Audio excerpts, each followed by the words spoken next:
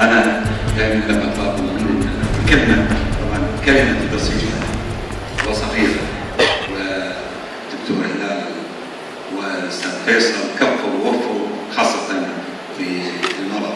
على طاري التبرع. أنا دائما أتبرع. آه، والحمد لله آه، بالدم فأتذكر كان الدكتور